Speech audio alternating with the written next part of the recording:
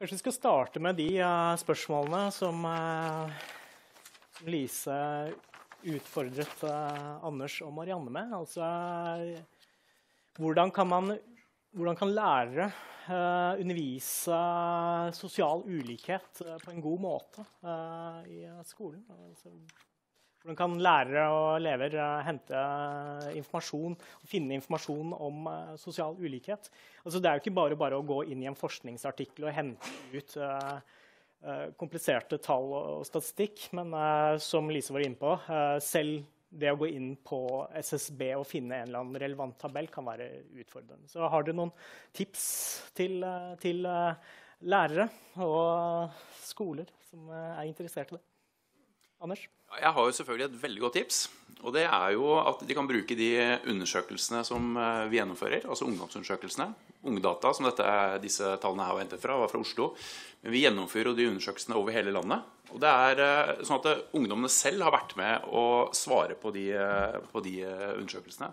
Og det å hente ut informasjon derfra, det tror jeg kan gjøre også på en måte tolkningen av resultatene litt uh, nærmere. Da.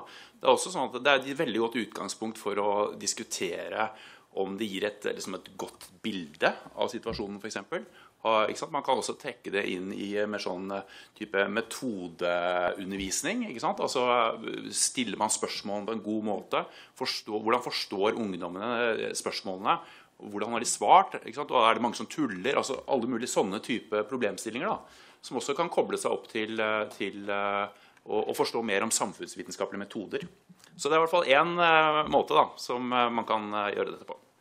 Lise, du har et svar? Jeg, jeg skulle bare ha en kort kommentar. Jeg tror veldig mange gjør altså Akkurat ungdata tror jeg brukes i veldig stor grad. Det som er vanskeligere, er Marianne sin bit. Altså det som handler mer om altså det å få tak i ulikheter mellom ulike bydeler, det å si ulikhet i prestasjoner um, en del av de andre dataene, tenker jeg. Men uh, Ja. Uh, har du noe, noe kommentar til det? Jeg har ikke mange gode råd for, om dette, bare for å si det. Det er veldig fornuftig det Anders uh, sier om å, å, ta og gripe fatt i noe som er nært ungdommene. Da syns du hadde veldig mange gode forslag til hvordan dette kunne gjøres. Og det for, har jeg notert meg. Ja. Ellers så er dette med, med, utdanningsvalg og skole og sånt noe, det interesserer eh, ungdom. Mm. Det er min eh, erfaring. Så akkurat dette med disse tingene man går man på samme skole så, eh, for, også disse sammenhengene mellom karakterer og inntekter og alt mulig sånt, eller kultur eller whatever, det er min erfaring at det interesserer ungdom veldig. Så dette med Altså, jeg kunne godt tenke meg å skrive mer om dette på, på sånn eh, Hva skal vi si populær, populært. Fordi jeg Det er jo et problem i samfunnsvitenskap som har blitt verre. Det er at eh, alle samfunnsvitere nå de må skrive engelskspråklige artikler som ingen leser. Og som ikke er Og bruke også noe sånne altså Jeg overdriver når ingen leser, men i hvert fall de treffer ikke disse publikummene som vi snakker om nå. Så er det også mye at det skal også være veldig sånne kompliserte analyser og sånt noe fremstilles på en utilgjengelig måte. Og det er selvfølgelig negativt. Og da mener jeg også at jo mer det er sånn, jo mindre så ivaretar man samfunnsoppdraget sitt, og det er negativt. Anders, du hadde en replikk. Ja, altså jeg tror Litt av utfordringen handler jo om, eh, om begrepet sosial ulikhet. Hvordan vi skal forstå det. Og det er, eh, det er ikke så veldig lenge siden at eh, vi hadde politikere som mente at, liksom, at klassesamfunnet ikke eksisterer, f.eks. Og, og når vi snakker med ungdom også, så er det også sånn at det er en av de tingene de reagerer mye på undersøkelsen, det er alle disse spørsmålene vi stiller om bakgrunnsfaktorer i familien. Fordi de, de sier at de skjønner ikke liksom, Hvorfor skal dere vite det? Og så er det helt åpenbart at Når vi viser resultatene her, så er det på noen områder så har sosial bakgrunn veldig mye å si. Så det er det å prøve liksom å finne en eller annen sånn en eller annen god måte å det er klart sånn Foreldres utdanningsnivå er jo noe som man kanskje har en eller annen forståelse av. Men samtidig så er det i hvert fall sånn ungdomsskoleelever klarer kanskje ikke helt å skille liksom, ja, hva er bachelor og master og fullført videregående. altså Man tenker ikke så veldig langt. Og man har kanskje ikke heller um, like stor kompetanse på å vite hva foreldrenes uh, utdanning er. Så det, det er, jeg tror det er noe av kompleksiteten her. altså. Men uh, en ting som folk forstår, det er jo inntekt. Hvor mye penger foreldrene tjener, det forstår alle. Så det er kanskje, og det har jo du jobbet mye med, Marianne. Kanskje den artikkelen din skal ta for seg det? Yep. Nei, det, det, er jo selvfølgelig en betydelig utfordring å måtte kunne popularisere det i en tidsalder hvor uh, kun engelskspråklige artikler meriteres, og lærebøker uh, ikke meriteres osv. Så, videre. så det, der har vi noe å ta tak i. Um, men jeg skal snakke om et litt annet aspekt. fordi at Dere har jo snakket om forskjellige ting. Uh, altså Marianne viser jo ekstreme forskjeller i utdanningsprestasjoner og utdanningsvalg selv når elevene har like karakterer. Og det er ganske alvorlig. Uh, og Anders viser jo at det er ganske få. Altså at de trives ganske godt, uavhengig av sin sosiale bakgrunn. Og selv om de går på en østkant- eller vestkantskole. Det er jo et veldig sånn, positivt budskap. Uh, men likevel så, så, er det jo sånn at eh, de to tingene henger jo også litt sammen. fordi læringsmiljøet f.eks. på skolen Vi så jo at det var noe systematikk til at de var mer fornøyde på vestkantskoler. Men læringsmiljøet som, som, er på skolen, har jo også en slags innvirkning på prestasjoner og valg og hvordan man sammenligner seg. og sånn. Og Lise snakket jo også om uh, utfordringen lærerne har i, uh, i uh, undervisningssetting, fordi de nettopp må ta hensyn til disse elevsammensetningene på de ulike skolene. Så de har liksom ulike utgangspunkt for å undervise på disse skolene. Men hvor viktig er egentlig disse sosiale forskjellene? Altså, hva, hva er det det betyr for livene til disse elevene? Så det er mi, mitt spørsmål til panelet.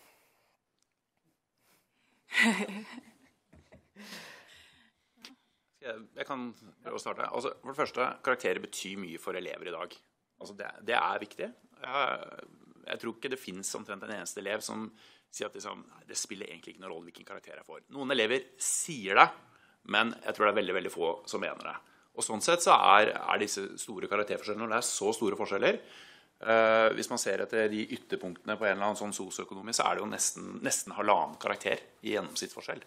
Det er jo sånn Hvis man kommer fra Mars og kommer inn, liksom, så ser det ut som at nesten alle sekserne er gått til elevene fra høy sosiale lag, og alle enerne og toerne er gått til fra lavest. Så forskjellene er veldig store, og det, og det, betyr mye for elevenes subjektive opplevelse. Og så er det selvfølgelig sånn i dag også at karakterer er en kapital som du har med deg, da, som åpner for muligheter. Så det, det, jeg tenker at disse tingene er veldig, veldig viktige. Lise? Jeg tenkte jeg kunne jo åpne opp eh, si, Hvis de begynner å snakke om fritt skolevalg, så kan det jo hende at uh, det tar litt av. Men hva betyr sosial ulikhet for elevene? Altså Fritt skolevalg er jo fritt skolevalg for noen. Ikke sant? Kan man si. Jeg vet ikke hva dere tenker om det. Det er ganske store forskjeller på hvem som får lov å velge hvilke skoler de skal gå på og ikke. Sant, Marianne? Jeg er absolutt eh, enig i det. Um, også følge opp det med er, Karakterer er typisk noe som er viktig for ikke alle ungdom, tror jeg, men veldig mange. Og eh, jeg opplevde sånn eh, da min datter begynte på videregående, så var det sånn traff mye nye mennesker og sånt noe, og så var det liksom ja, hun Sara Nei, hun har 5,6 i snitt. Det var, også, hvordan vet man det? For det oppfattet jeg var en sånn måte man presenterte seg på og fikk formidlet. og Det er sånn man snakket om. Og da jeg var ung, så var det absolutt ikke sånn. Det var helt eh, fremmed. Jeg tror dette, dette, skjer allerede jeg husker allerede i første klasse. så kunne jo Datteren min var veldig, liksom, ja, hun kunne lese. Hun var veldig god i regning. altså Allerede der så, er det også, så, så lager man seg jo et bilde. Man, man, treffer jo elevene i klassen. Man er sammen eh, fem-seks timer hver eneste dag. Man blir veldig godt kjent. Og det er klart at de der, disse prestasjonene i skolen de blir jo, de blir jo verdsatt. Uh, så jeg tror det, dette skjer veldig tidlig. Og så forsterker det seg selvfølgelig etter hvert når, eh, når det blir karakterer og tall da, på elevene. Ja, altså Prestasjonene er jo noe av det som har veldig mye fokus, som Marianne påpekte. Men dette med, hva med utdanningsvalgene? Hvorfor er det viktig det med utdanningsvalgene? At det også får større oppmerksomhet? Ikke bare i samfunnet ellers, men også blant skoleledere, lærere osv. Har du noen tanker om det? Altså, Hvorfor er utdanningsvalgene viktige? Så utdanningsvalg... Altså gitt uh, samme karakter, altså at det er så store forskjeller at uh... Hvorfor er det viktig? Altså, det er selvfølgelig viktig fordi altså, Jeg mener at det er viktig fordi at det er en slags eh, ideologi om at det er karakterforskjeller som betyr alt. Dette her er det veldig lite oppmerksomhet på, og det er et veldig viktig fenomen. Så det er vel først og fremst som en sånn hva skal vi si myte, my, Å unngå sånn myteskapning som at det er bare prestasjoner som betyr alt. Og Det er også da knyttet til noen ideer om at noen er mer intelligente, og alt skyldes F.eks. så sier eh, så, så, så sies, altså Enten så skyldes det medfødte evner, eller så er det på en måte et eget valg. Det var det stadig oppe i eh, den politiske debatten i forbindelse med det siste valget, f.eks. At eh, man var veldig for fritt skolevalg, som du snakker om. Det er rettferdig fordi at det kan man velge selv. Man kan velge selv hva slags karakter man får gjennom å, å investere og gjøre lekser osv. osv. Jeg kan jo også kanskje si bare litt sånn mer sånn anekdotisk. altså Fra skolen min i Bærum så var det jo ikke greit å skulle ikke velge studieforberedende. Mm.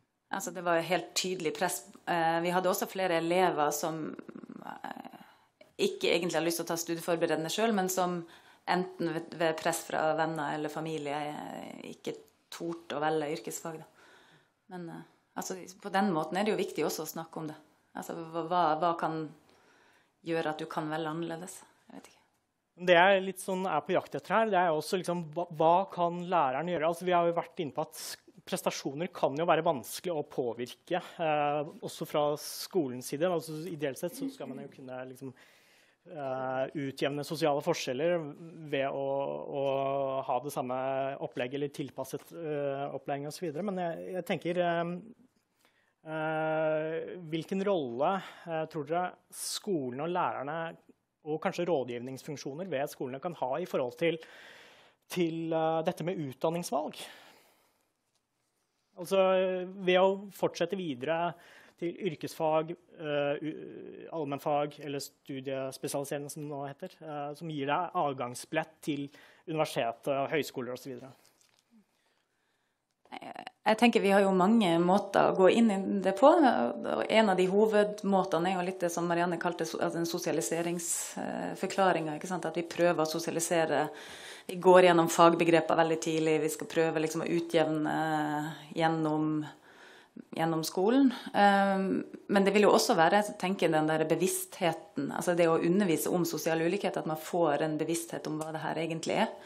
Det som kan være utfordringa, er jo det at vi fort går over i sosial mobilitet. Og da blir jo sosial mobilitet sett på som på måte, lykken til alt bra. Og dermed så har jeg liksom tenkt på at noen ganger så føler jeg at det undergraver også litt det der at man skal kunne ta andre valg. Fordi at nå kan jo alle gjøre, nå kan jo alle ta liksom høyere utdanning. Ok, ja, men da, da må vi jo gjøre det sånn. Da er det bare min, min individuelle grunn til at jeg ikke får det til. Jeg lykkes ikke. Så jeg har lurt på det der med sosial mobilitet, om, om det virker mot sin hensikt noen gang å ta inn litt la, altså på lavere nivå. Jeg tror vi kanskje skal eh, åpne opp for uh, spørsmål fra salen. Skal vi se uh, Er den på?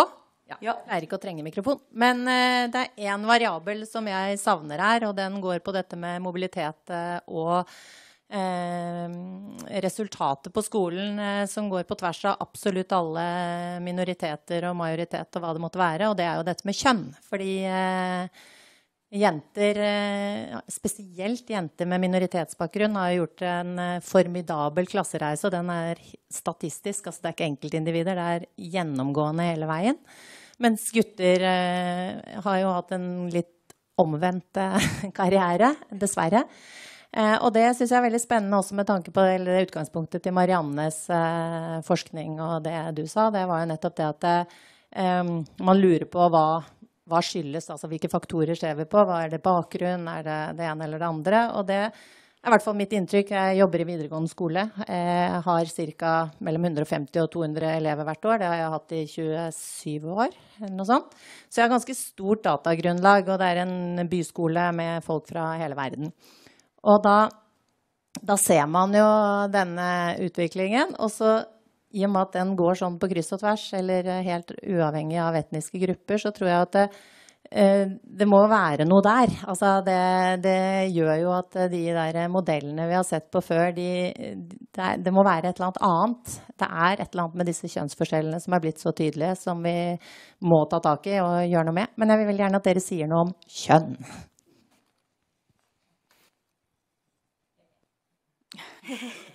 Skal jeg begynne, kanskje? Ja, ja, Det er selvfølgelig riktig som du påpeker. Det er eh, kjønnsforskjeller. Men det er ikke sånn at disse mønstrene som jeg viste, ikke fins innenfor hvert av kjønnene. Det er akkurat samme forskjellene hvis du ser på gutter for seg og jenter for seg. Så jeg vil ikke si, så det er ikke sånn at kjønn, eh, kjønn Hvis du trekker inn kjønn, så forsvinner disse tingene. Men det er forholdsvis like mønstre hvis du studerer jenter for seg og gutter for seg. Så jeg har ikke sett på det akkurat i det jeg har presentert her, fordi temaet her var sosial ulikhet og ikke kjønns, kjønnsforskjeller. Jeg kan også si at kjønnsforskjeller har jo fått veldig mye oppmerksomhet i det siste, og kanskje egentlig i den offentlige oppmerksomheten tatt over litt, i hvert fall det seneste året, fra disse sosiale mønstre, de sosiale forskjeller. Skal ja, eh, jeg lurte på dette egentlig til Anders, for du nevnte utenlandsfødte foreldre. Er det begge foreldre eller én av foreldrene? Ja, da er det to. Ja, ikke sant. Eh, og så lurte jeg på det, det, er sikkert litt tidlig ennå, men vi har jo fått en endring i opplæringsloven kapittel 9a. Og da er det kommet en del 9a-saker om de også om man kan se på ulikheter i sosioøkonomisk bakgrunn, og hvem som melder inn den type saker. Det ville være interessant å se om det er noe mønstre der. Er det mobbesaker du tenker på? Ja. Uh, altså, hvert fall det det vi, finner i vår forskning, det er at når vi spør ungdom direkte om de opplever å bli plaga og erta og diverse ting som er veldig mobberelatert, så er det jo flere med lavere sosioøkonomisk bakgrunn som rapporterer om det, enn de med høyere. Så det er en sånn sosial, uh, sosial komponent der som ikke faktisk er helt ubetydelig. Har de også benyttet Det, systemet som ligger der i dag det, det, kjenner jeg ikke til. Ja.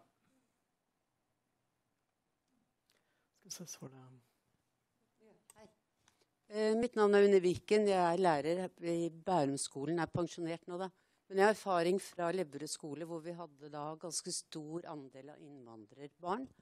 Og, og de typisk Blærum-skole, da, for å si det sånn.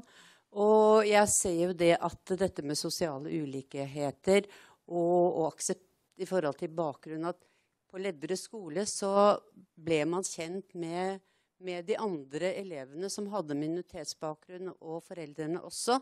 Sånn at da ble det en, en integrert del av det hele. Men du ser jo også at, uh, at uh, det er jo ikke bare Oslo som er en delt by, altså, men også Bærum. Altså, det er veldig delt. Uh, det er veldig delt, og, og, de kjenner ikke hverandre og kjenner ikke til hverandre. Så jeg tenker det at og det som jeg syns var veldig bra med den undersøkelsen du, Anders, hadde, la frem, det var at, at, at, ungdommene fra de ulike bydelene de var fornøyd med livene sine. Og da tenker jeg at det er jo veldig bra. Og jeg tenker kanskje problematisere meg på, på en gal måte. ikke sant? Og lærere er jo ofte fra akademiske Altså, altså, Vi har kanskje ikke den innvandrerbakgrunnen en annen type bakgrunn. Og jeg var på en sånn, NHO hadde sånn kompetansebarometer fra 2018. Og de etterlyser jo yrkesfag, og de har behov for den type kompetanse og utdanning fra ungdommene våre i fremtiden. Så kanskje man skal tilnærme seg litt annerledes. Jeg vet ikke. Men jeg syns det var veldig positivt å høre at, at alle ungdommene hadde det ganske bra. da. Ikke sant? Og media lager jo et veldig veldig skjevt inntrykk også, så de burde jo kanskje ja, føle et ansvar, tenker jeg da. Men takk for det. Takk for veldig interessante innspill fra alle. Ja, tusen takk for tre veldig fine presentasjoner. Eh, Marianne, du legger jo fram et bilde av en, eh, at skolen reproduserer sosial ulikhet. Det er jo noe vi vet eh, mye om og er bekymret over.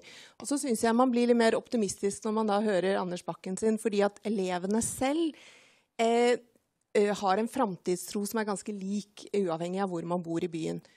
Og så kan vi snakke om at vi kanskje ønsker en uh, mindre segregert by, vi ønsker en annerledes inntak til videregående osv. osv. Men hva er det i skolen som er de opprettholdende faktorene for nettopp den reproduksjonen av segregering? Vet forskerne mer om det? Skal se, jeg tror jeg skal la dere svare på de to spørsmålene. Altså Segregeringen det er jo at man ikke går på samme skole. Og det skyldes i stor grad økonomiske forhold.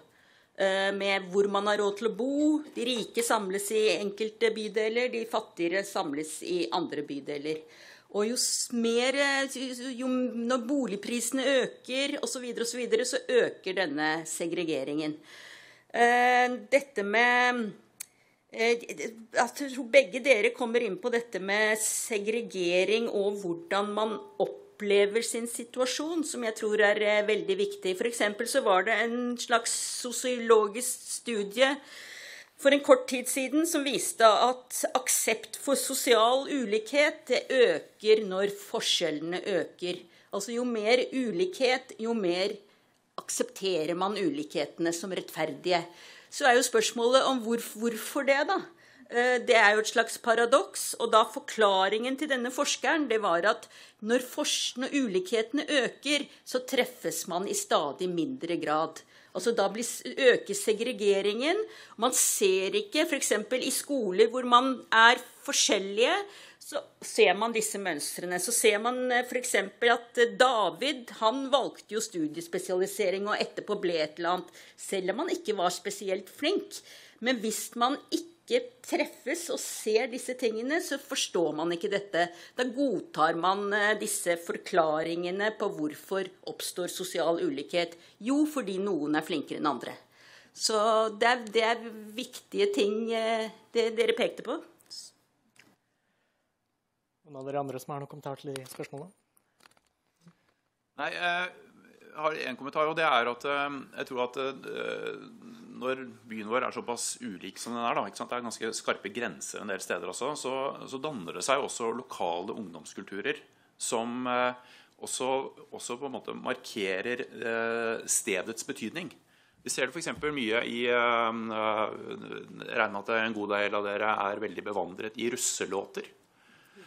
Der er det, det er helt, veldig tydelig. Russ, veldig mange russelåter er veldig knytta til liksom stedet. Man lager liksom en låt rundt stedet. Og Gjerne også så er det en liten sånn fight og battling til uh, hvordan ungdom er andre steder.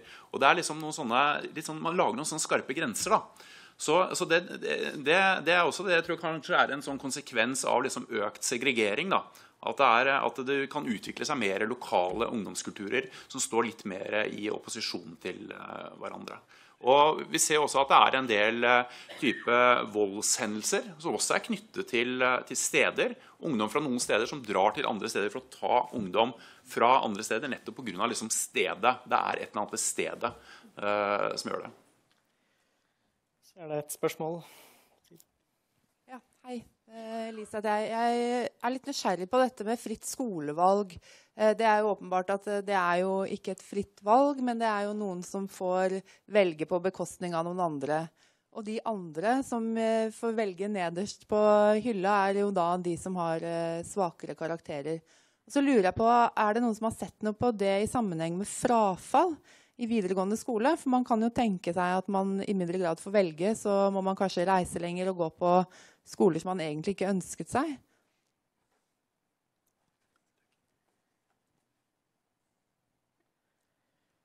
Jeg vet ikke, jeg har ikke studert akkurat det spørsmålet der. Men det virker ikke urimelig, det du sier. Men også fordi at, eh, som mange har tatt opp i denne debatten, at det blir eh, ikke nødvendigvis et godt skolemiljø hvis det er sånn at alle med toerkarakterer samles på én skole. Så det er vel sånne ting. Det er sannsynlig at sånne ting fører til økt frafall, uten at jeg kan si at akkurat det er studert. Er det Eifred Markussen, er det han heter? Jeg på, går an å kanskje sjekke noen ting fra han? Eifred Markussen, sier jeg riktig? Ja. Ja, ja fra NIFU. Ja. NIFU. Mm. Da tror jeg kanskje vi lar det bli siste spørsmål, hvis det ikke er noen korte spørsmål på tampen her. Så da vil jeg takke innleggsholderne og publikum for eh, en veldig fin eh, diskusjon.